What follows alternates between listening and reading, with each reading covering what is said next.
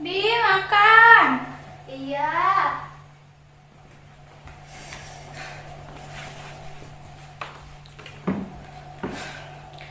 Ya kok mie lagi sih?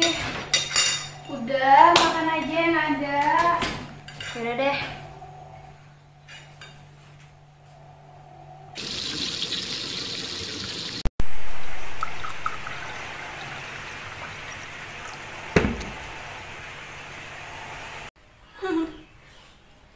Kamu tuh kebiasaan deh main HP sambil makan. Ini tuh penting mah. Penting-penting. Iya. Nanti aku diajak teman-temen nih pulang sekolah. Mau ke mana? Biasa nongkrong. Tapi kan masih ada COVID. Mah, covid itu masih di Cina, belum di Indonesia. Uh, kamu terserah deh.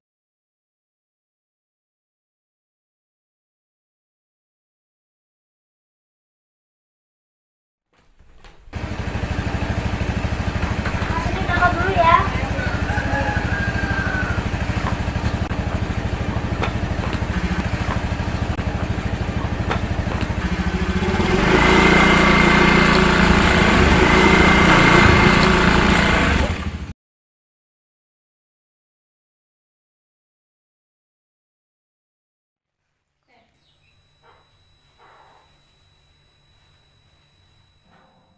Dua warga Indonesia yang positif terinfeksi virus corona disebut telah melakukan kontak U.S. dengan warga negara Jepang dan warga Jepang ini kini tengah menjalani proses karantina di Malaysia.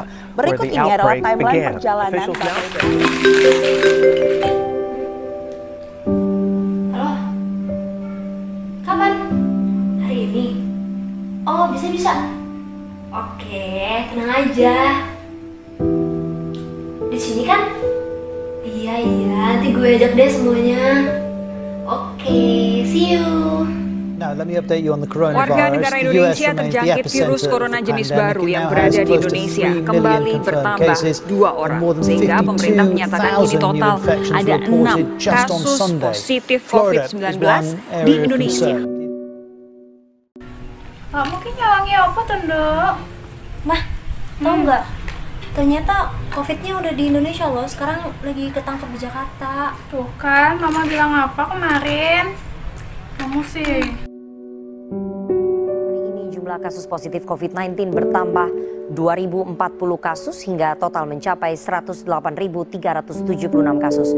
DKI Jakarta menyumbang pertambahan kasus tertinggi hari ini dengan 430 kasus baru menyusul Jawa Timur 317 kasus. Jumlah pasien sembuh COVID-19 di Indonesia bertambah 1.615 orang dan secara akumulatif mencapai 65.907. Rasio kesembuhan 60,8 persen. Akumulatif mereka yang meninggal dunia mencapai 5.131 jiwa.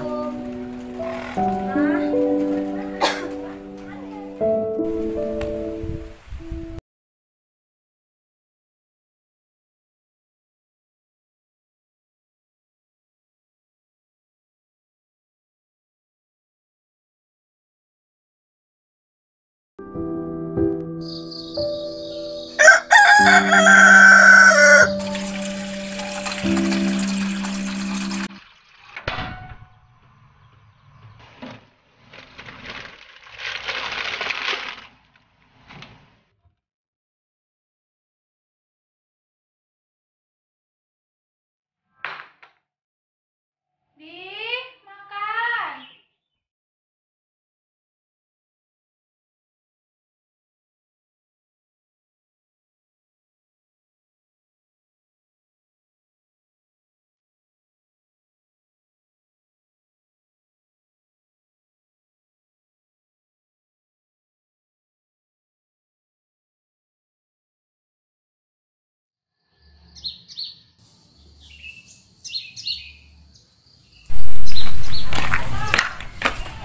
Assalamualaikum.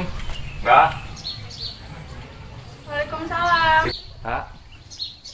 Jadi ke pasar enggak? Jadi, Ya mukanya jangan lemes gitu toh, yang semangat. ya wes ya gendang bedah. Ya wes lah yuk mangkat. Nah, aku ambil motor dulu.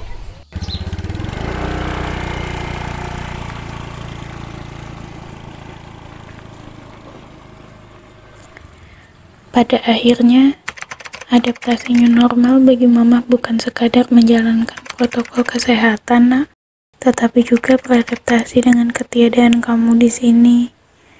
Mengikhlaskan kamu pergi. Semoga cukup mama saja yang kehilangan kamu saat pandemi ya. Jangan sampai ada yang kehilangan lagi.